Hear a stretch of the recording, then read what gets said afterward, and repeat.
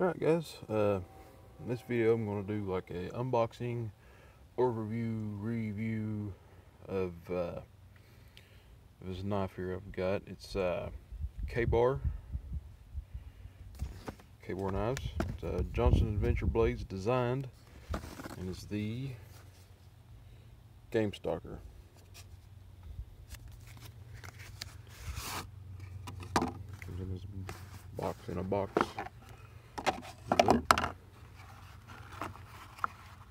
Comes with the sheath and some paperwork that may have changed because I've had this knife for a couple years now. Um, knife is, itself is made in America. Sheath is made in China. It's got like a Velcro strap around it. It's got this button on it, holds it in pretty good. And the sheath itself, it's got uh, this pocket I assume it's probably for like a uh, sharpening stone to fit down in there.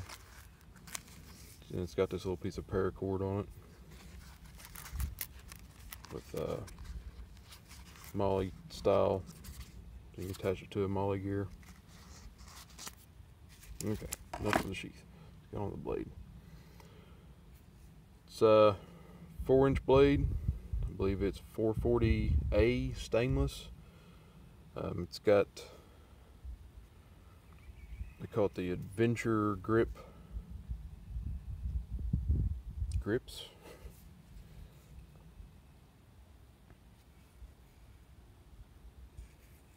Texture grip, it uh, really helps out the hold. You get some jimping here and here for your thumb, kind of like that, or your finger up here when slicing, I guess. That's intended for, probably like when you're field dressing, you know, holding the skin back and little motions. It's a extremely sharp blade, hollow ground on it. I was really impressed with all that. Um, couple little, few small details I noticed about this, just on the finish. If it's going to focus in on it or not.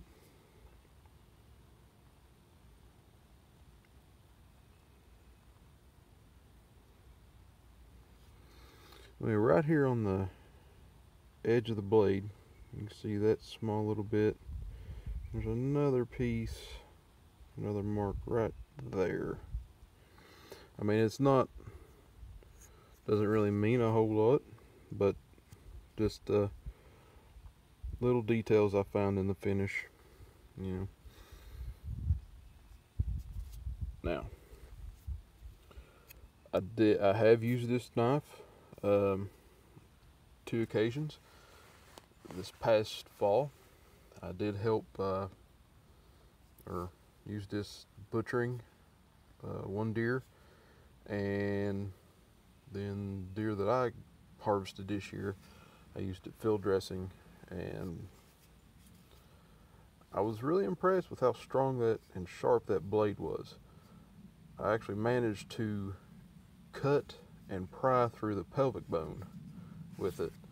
And it's still just about as sharp as it was when I first received it, first purchased it. I have not sharpened it any.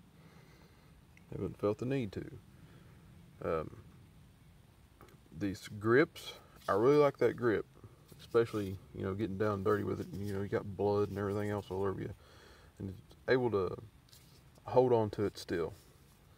But when it comes to cleaning, that's kind of a pain to get everything out of all those little nooks and crannies. Took a little while, a little bit of brushing to get it cleaned back up. But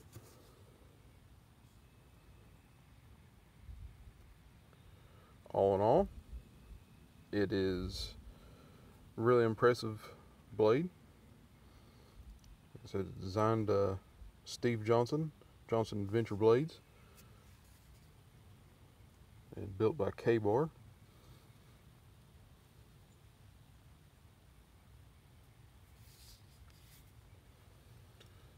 And uh, if you're looking to purchase one of these, I do recommend it.